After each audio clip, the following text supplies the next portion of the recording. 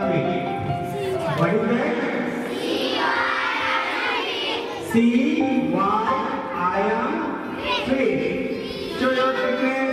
I am free. See, we have to make see with our body. See, make us see. Can you see this?